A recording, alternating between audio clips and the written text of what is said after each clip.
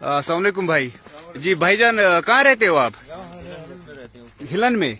आपने इनको चारपाई पे क्यों उतारा है? आप चलिए चलिए आप चलते रहिए। गाड़ी का मामला नहीं कोई अभी तक रोड आपके साफ़ नहीं हुए? नहीं नहीं कोई नहीं आया। आप हिलन में रहते हो? जी, जी, तो हाँ। वो तो बहुत फॉरफलंग एरिया है। जी तो इस ये पेशेंट है आपका? जी हाँ। जी क्या बात है इनको? तो डिलीवरी है सर। अच्छा डिलीवरी है। जी जी सर। देखिए आप कितनी बड़ी शर्म की बात है।